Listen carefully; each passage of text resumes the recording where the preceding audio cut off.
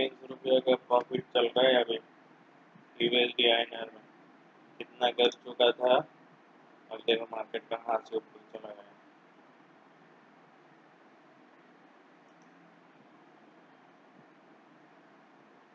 Breakout देगा।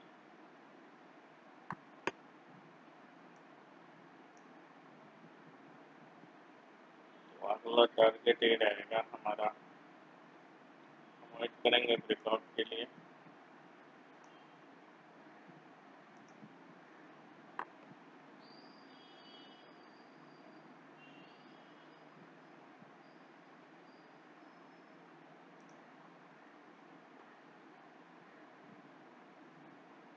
Time पहले हज़ार रुपये का लॉस दिखा रहा था अगर तीन सौ रुपये का प्रॉफिट दिखा रहा है।